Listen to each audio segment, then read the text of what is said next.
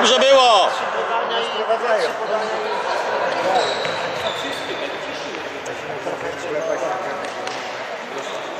Stasiu, wyślij sam, żeby bo chyba wyszedł a, na alarm.